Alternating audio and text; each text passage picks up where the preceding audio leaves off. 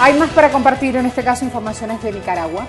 Vamos a ver entonces una iniciativa en este país centroamericano para incentivar a los niños a leer.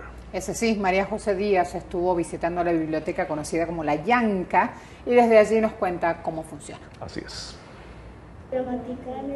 Esta es la segunda y más grande biblioteca que existe en este pueblo.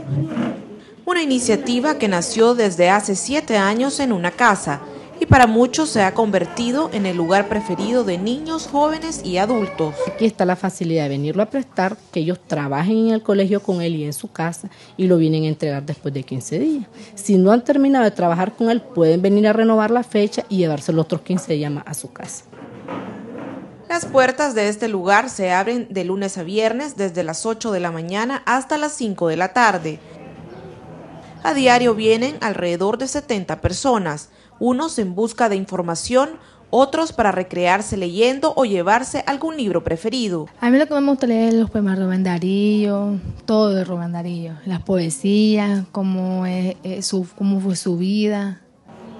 Para muchos padres de familia, este lugar viene a facilitarles los estudios a sus hijos y en algunos casos les despierta el interés en la lectura. Él viene a prestar aquí libros, para libros de cuento, él viene aquí a prestar y y yo miro que él ha mejorado la lectura, sí, leyendo cuentos de esa manera, pues miro que él ya lee bien y está en tercer grado.